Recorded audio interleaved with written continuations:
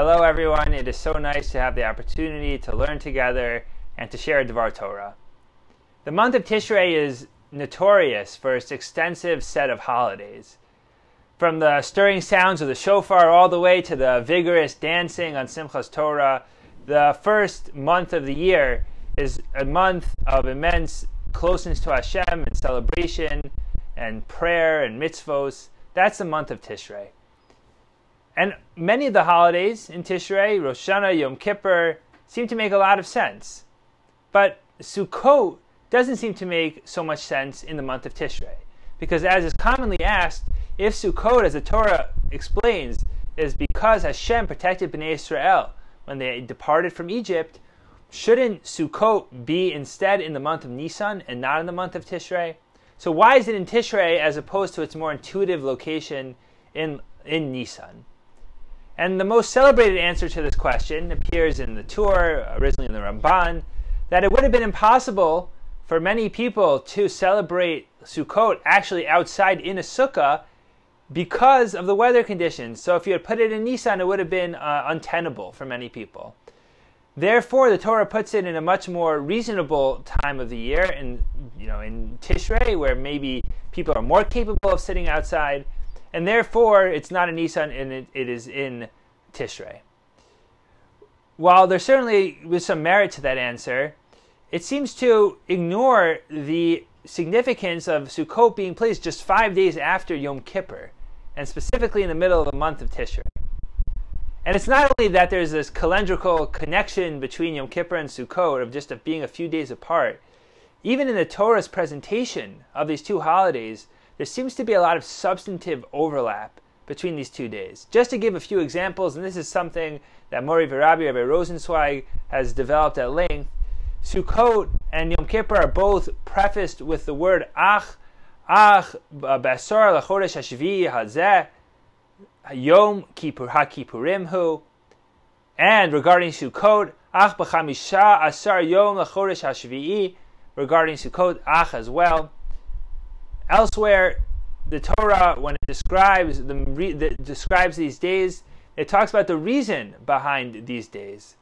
Kiba Sukkot Shavti, because I protected Bnei Israel and I put them into booths when they departed from Egypt. And by Yom Kippurim, because it's a day of atonement, and that's why we have this day.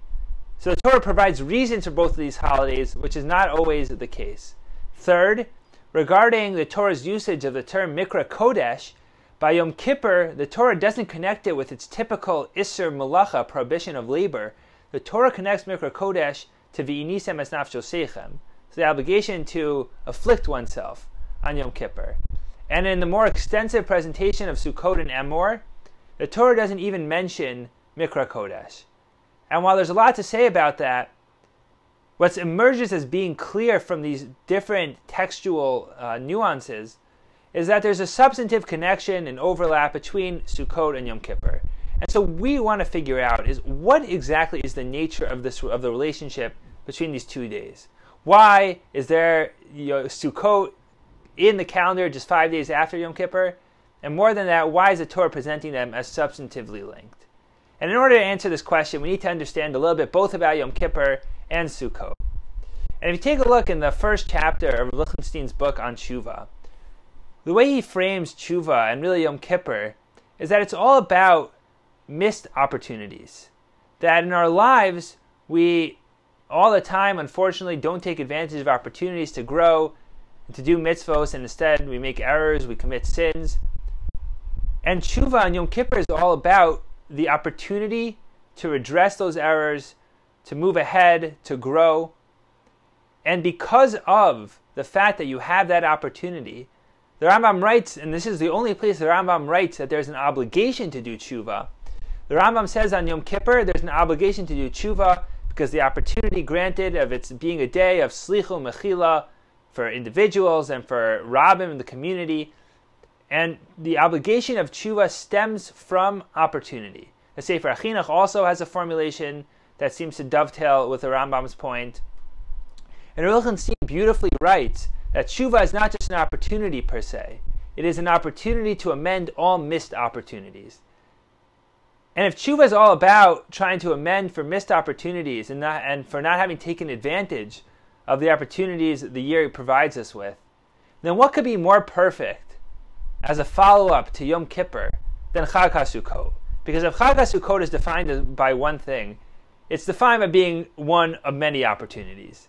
Even before Sukkot starts, starting from immediately after Yom Kippur, we're supposed to start building our sukkahs, and there's halachic significance to the building of the sukkah. We continue and we get to the Chag itself, and this is the only holiday with both uh, the Daled Minim and the Sukkot, two mitzvos hayom, different from other holidays. And the obligation of yeshiva besukkah, of sitting in the sukkah, is not just to go, sit there for a moment, make a bracha, and get out of there. Yeshiva besukkah is supposed to be an all engrossing experience where one really makes their dwelling place completely in the sukkah all day throughout Sukkot. And every single day of Sukkot, in contrast to Pesach, there's unique korbanot, there's a full hallel. Sukkot is a holiday of opportunities and so many mitzvos chances to, to engross yourself in Avodat Hashem. And so, in the aftermath of Yom Kippur, where we're supposed to show God that we are taking it seriously and all our commitments to take advantage of opportunities and what we did Shuvah for, Sukkot is the perfect way to actualize that and to demonstrate it to God.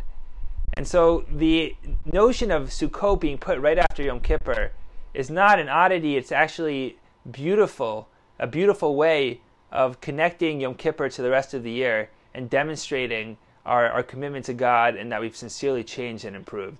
So, Bezrat Hashem, uh, we've had the same experience and this ideal experience of transforming and improving on Yom Kippur, taking advantage of the opportunity of tshuva, and now with the Chag HaSukkot ahead, have the ability to really show and demonstrate to God our commitment to Him by observing all the mitzvos and taking advantage of all the opportunities that we have on this wonderful holiday. Good Shabbos and Chag Sameach.